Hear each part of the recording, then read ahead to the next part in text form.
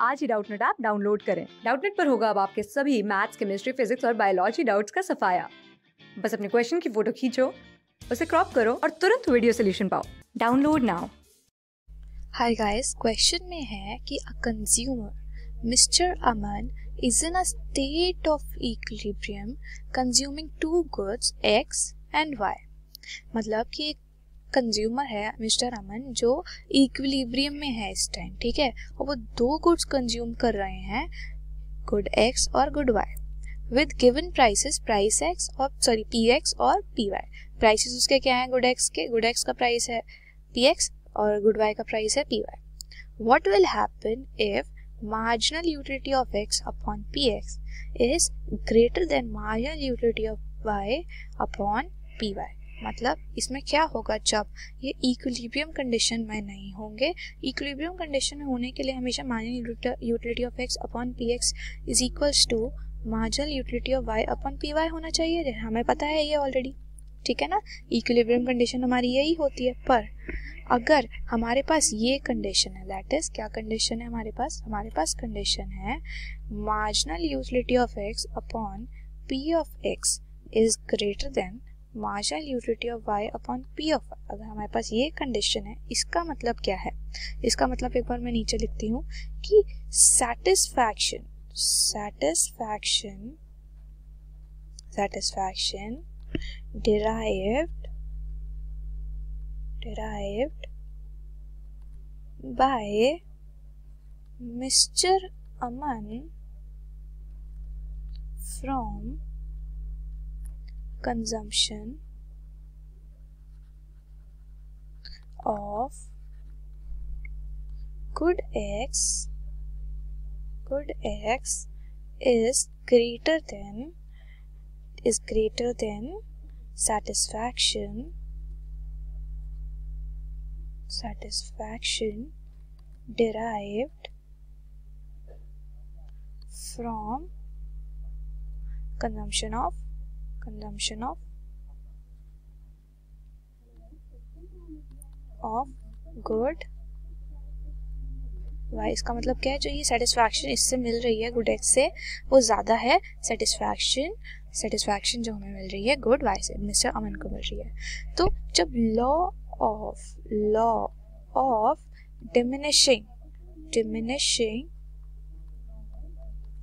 diminishing marginal marginal utility apply जब ये होगा, ये लॉ जब अप्लाई होगा, क्या लॉ है? Law of diminishing marginal utility जब अप्लाई होगा, इसमें क्या होगा?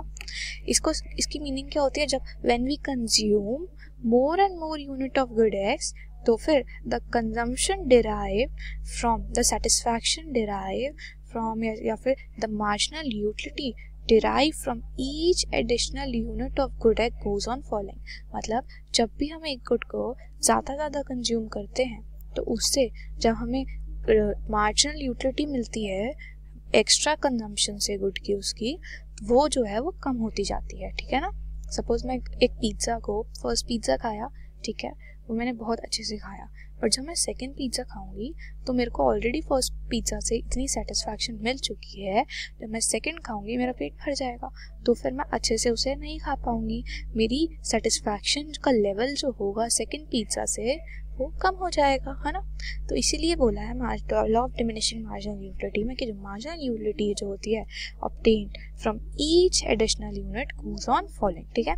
तो इस टाइम उसे सेटिस्फैक्शन मिल रही है गुड एक्स से। पर ऐसा होगा कि जो मार्जिनल यूटिलिटी उसे मिलेगी गुड एक्स से, वो फॉल हो जाएगी, है ना? वो फॉल हो जाएगी मार्जिनल यूटिलिटी जो फॉल हो जाएगी। फिर क्या होगा? फिर वो चाहेगा कि गुड एक्स ना कंज्यूम करके मैं क्या यूज़ करूँ? गुड वाई तो मार्जिनल यूटिलिटी वाई की इंक्रीज हो जाएगी, ठीक है ना? मार्जिनल यूटिलिटी वाई की इंक्रीज हो जाएगी और ये प्रोसेस तब तक कंटिन्यू होगा।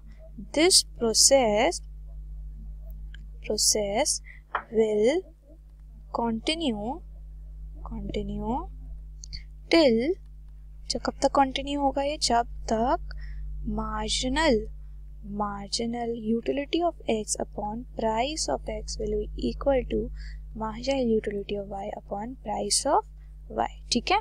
तो ये हमारी क्या होगी? ये हमारी होगी इक्विलिब्रियम कंडीशन तो हमेशा एक कंज्यूमर जो है, इस कंडीशन पे आने की कोशिश करेगा, ठीक है? ये हमारा क्वेश्चन हो गया। अब नेक्स्ट पार्ट में बी पार्ट में हमें क्या बोला है?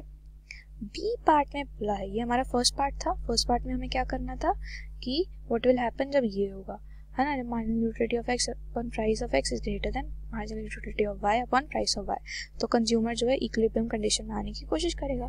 सेकंड में क्या है? सेकंड में लिखा है if price if price of good y falls अगर गुड वाई का प्राइस फॉल हो जाएगा दैट इज़ गुड वाई का प्राइस फॉल होएगा अगर मतलब प्राइस ऑफ़ वाई जो है वो फॉल हो जाएगा। प्राइस ऑफ़ वाई जब गिर जाएगा, तब हमारे पास क्या कंडीशन आएगी? Marginal utility of x upon price of x will be less than marginal utility of y upon price of y ऐसा क्यों होगा? ऐसा इसलिए होगा, जब एक गुड का प्राइस गिर जाता है है ना? दैट इज़ वो गुड सस्ता हो जाता है तो हम उस गुड को ज़्यादा कंज्यूम करते हैं एज कंपेयर टू द वो वाला गुड जिसका प्राइस ज़्यादा है, जो महँगा है है ना? तो क्या होगा? इसके अंदर वो क्या करेगा? वो क्या करेगा? उसकी इनकम का वो ज़्यादा स्पेंड करेगा पैसा। Income he will spend he will he will prefer prefer to buy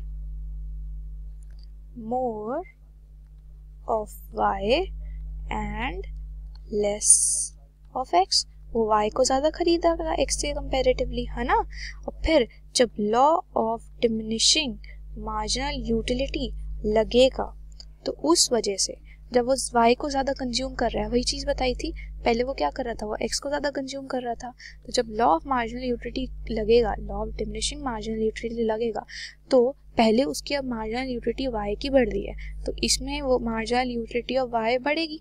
है ना?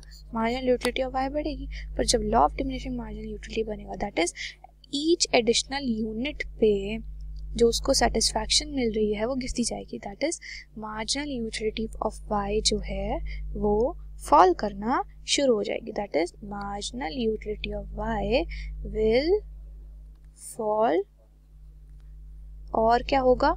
मार्जिनल यूटिलिटी ऑफ़ एक्स जो है, वो राइज होएगी। ठीक है ना? और ये तब तक राइज होती रहेगी जब तक हमारी इक्विलिब्रियम कंडीशन नहीं आ जाती। दैट इज़ जब marginal utility of y upon price of y marginal utility of x upon price of x के बराबर नहीं आ जाता। तो ये भी एट द एंड तब तक कंटिन्यू होगा जब तक मेरी इक्विलिब्रियम कंडीशन सेटिस्फाई नहीं हो जाती। तो ये जो होती है, ये मेरी क्या होती है? इक्विलिब्रियम इक्विलिब्रियम कंडीशन कंडीशन ठीक है? तो ये था हमारा क्वेश्चन ओके समझ आ गया? Thank you class six twelfth से लेके NEET I I T JEE Mains और एडवांस के लेवल तक. दस मिलियन से ज़्यादा स्टूडेंट्स का भरोसा. आज डाउनलोड करें डाउट नेट आप या व्हाट्सअप कीजिए अपने डाउट्स आठ चार सौ चार सौ चार सौ पर.